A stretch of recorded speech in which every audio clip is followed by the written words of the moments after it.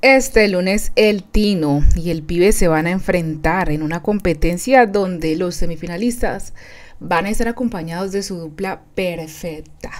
Por el lado de el Tino tenemos a Francisco con Madrid, a Alejo con Luisa, a Darling con Sensei y también tenemos por ahí a Natalia con el B y por el lado del equipo del pibe tenemos a Santi con Camila, a Kevin con Guajira, a Caroline con Jeffrey y también a Karen con Olímpico, porque sabemos que Olímpico, aunque está demorado, él va a llegar, Dios mío.